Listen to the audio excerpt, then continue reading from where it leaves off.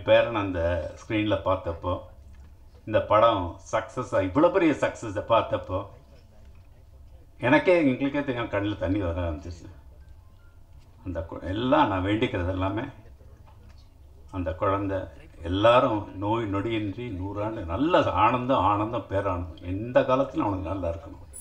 இது வந்து ஒரு ஹீரோவோட படம் அல்ல. இது ஒரு டெக்னீஷியன் படம்.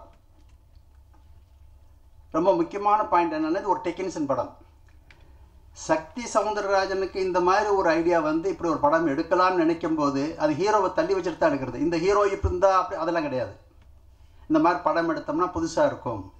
நான் ஒரு டெக்னீஷியனாக இப்போ பேசுகிறேன் நிச்சயமாக இது ஒரு டெக்னீஷியனோட படம்.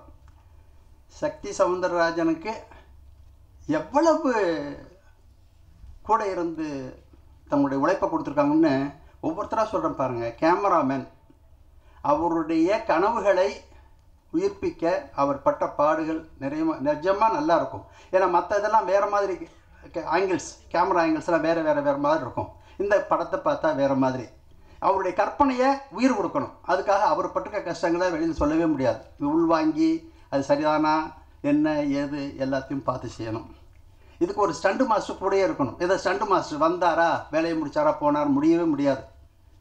இது ரோப்லேயே பறக்க வேண்டியது. அந்த ஸ்டண்ட் மாஸ்டர் உள்வாங்கணும் முதல்ல இந்த கேமராமேனுக்கு என்ன கொடுக்கணும் இந்த டைரக்டர் என்ன கேட்குறாரு இப்படி அவர் கஷ்டப்படணும்.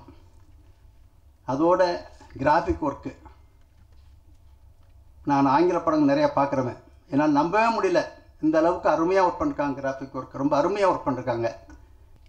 ஸ்டண்ட் மாஸ்டர் அவர் எப்படின்னா ஜெயம் படம் நீங்கள் பார்த்துருப்பீங்க. ஜெயம் படத்துலேருந்து அவர் கூட இருக்கார். எப்படி இருக்காருன்னா நிறைய அவர் தான் ரவிக்கு டூப் போட்டது. ஒரு ஒரு காம்பவுண்டு மேலே சைக்கிள் போகும். அதில் உண்மையான சாட்டு நாலு சாட்டு தான் ரவி. மீதெல்லாம் அந்த ஸ்டண்ட் மாஸ்டர் தான்.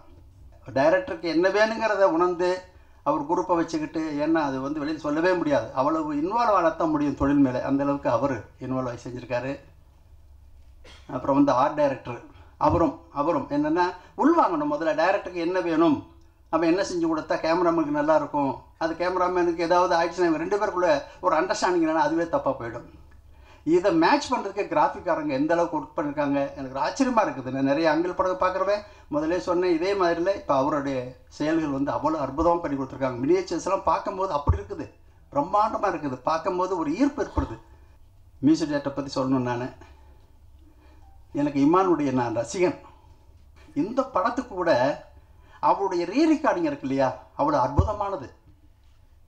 ஒரு ஒரு நான் வந்து சின்ன வயசுலேருந்து சினிமா படங்கள் பார்த்துட்டு இருக்கிறனால ஒரு விஷயம் எனக்கு என்னென்னா இச்சுக்காக்குடைய ஒரு வார்த்தை எனக்கு ரொம்ப பிடிக்கும். என்னென்னா sound is thrill but silent is more than a thrill பாருங்க ரீ ரெக்கார்டிங்கும் த்ரில் தான்.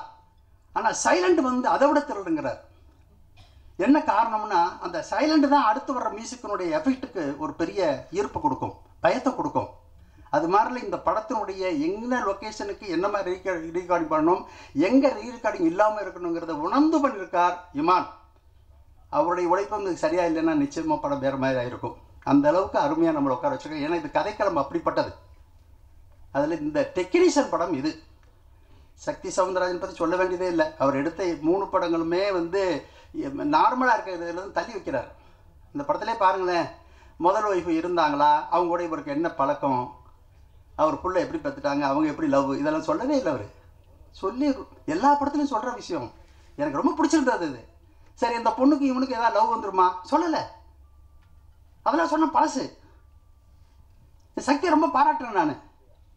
இந்த பழசுகள் இருந்து இதெல்லாம் தெரிஞ்ச விஷயம். இது ஏன் சொல்லிட்டு இருப்பானே? அப்படின்னு அவர் எடுத்துக்கிட்ட அந்த டிசிஷன் இருக்குல்ல தைரியமான டிசிஷன் இதெல்லாம்.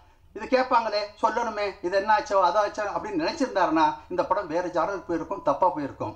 அதனால் டைரக்டர் பற்றி எனக்கு ரொம்ப பெருமையாக இருக்குது. இந்த மாதிரி அதாவது எப்போவுமே ரொட்டீனாக பண்ணிக்கிட்டு இருக்குது இல்லாமல் நம்ம புதுசாக பண்ணுறதுனால தான் இதுக்கு ஒரு சக்ஸஸ் ஆகிருக்குது